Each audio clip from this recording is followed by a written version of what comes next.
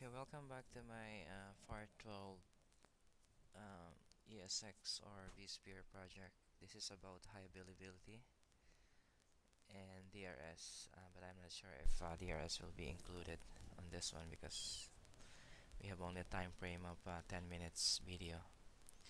So the first one we should do when we are going to create high availability cluster is to create a new cluster on the main uh, data center uh, in my case that's Trudel and let's just name that one as a cluster. And we will use HA for now not a combination with DRS or either or. And we will enable host monitoring on this one and we will use do not power VM when there's availability constraint and host cluster folder tolerates only one for now. And VM restart priority. Let's just use the default medium and shutdown. And enable VM monitoring. High um, we will not enable uh, enhance vMotion EVC uh, store swap file recommended for now.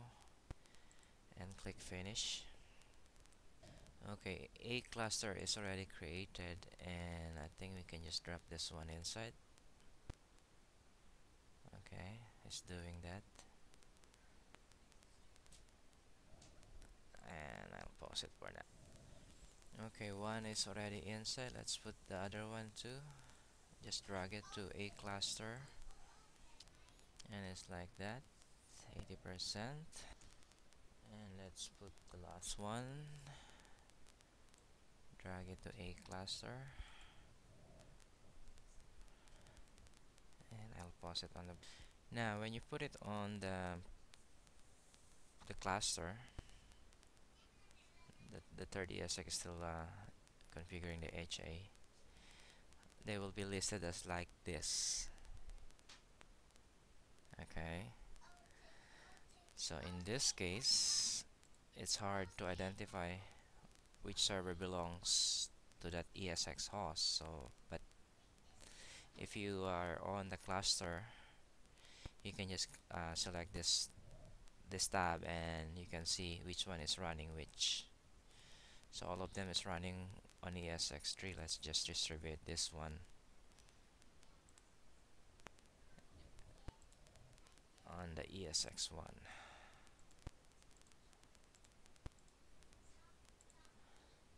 finish. You know it's because um, this one is nested and it's not that fast. Okay DB server now is on ESX1 and let's fire all of them.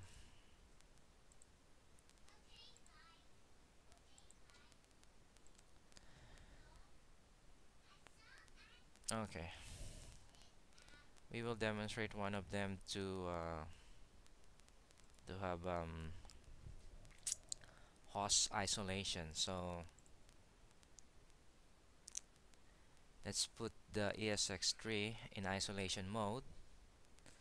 And let's see if it's going to uh, migrate to the other ESX either ESX1 or ESX2 and we know that ESX1 already have one uh, VM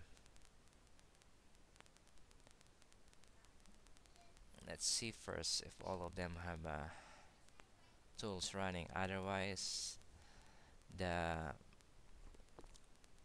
uh, the failover will, will not happen. So Red Hat is not running on VMware's tool yet. And BMW 2003 is not just updated yet because it's out of date. But for sure that will be okay later on. Um, another uh, the requirements for the high availability uh, features of VMware or ESX is that uh, they have um, storage uh, common. So that's either one of uh, all of them are running on the shared storage either open 1 or open 2 and then of course you need to have um, And the second requirement is you need to have uh, DNS and we have um, all of them are have DNS uh, entry on the DNS server. Um, Red, Hat, uh, Red Hat 4 is there. So um, let's see again if VMware Tools is okay Red Hat is okay and W2003 is okay. Okay let's power let's isolate uh, ESX3 and we can do that on the next the other desktop.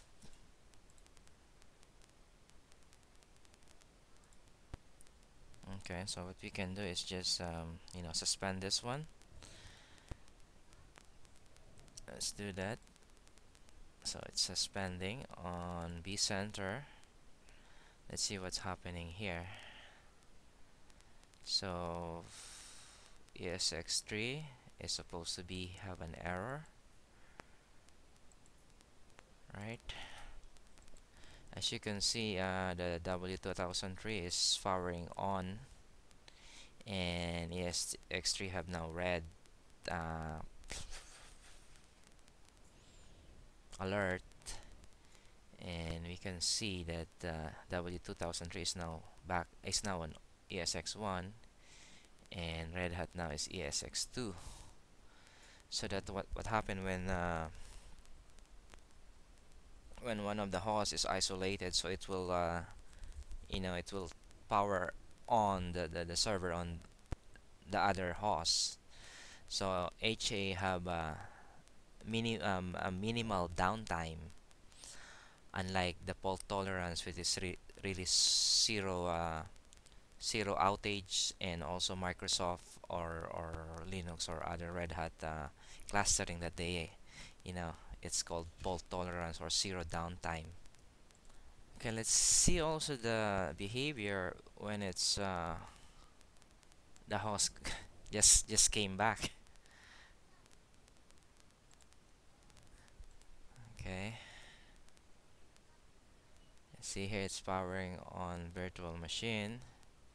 And Red Hat Forest go back to ESX3 and W2000 goes back to ESX3 so that's the behavior on a nested or it's running on workstation. The ESX is running on workstation.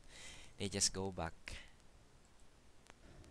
Okay everything is um, okay now. All the statuses are okay and VMs are running on each host either ESX1 or ESX2 another type of failure on HA is uh, is of course the if the guests fail.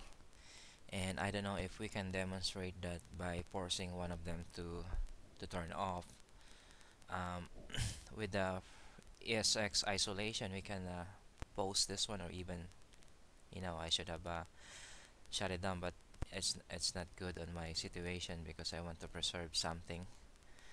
Um, so let's try to uh, shut down Windows 2003 by force and let's see if it's going to do migration uh, I mean powering on on another uh, host.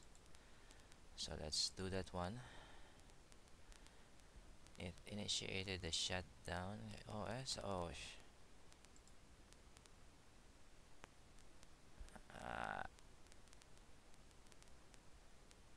I think it's still doing the proper shutdown. Uh, it doesn't doesn't shut down.